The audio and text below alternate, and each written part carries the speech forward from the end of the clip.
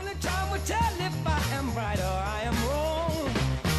While you see it your way, chance that we might fall apart before too long. We can work it out.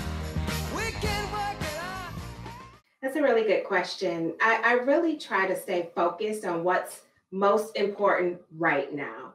You have to be rigorous about prioritizing all of the priorities in life.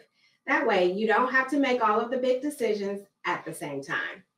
I'm also comfortable saying, just let me sleep on it.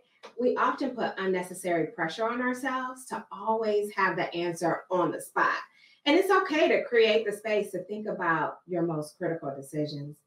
And finally, I don't make all of the decisions on my own. I empower the team to come up with the best solutions through cross functional collaboration.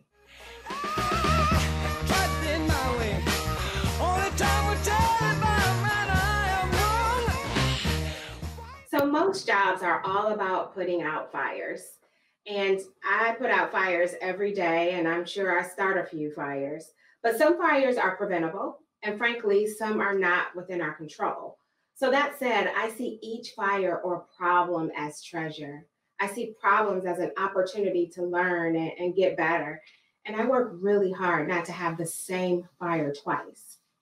I have a process where I unpack the situation. I make sure I understand all of the steps that led to the problem or fire. I determine what went well and what went wrong.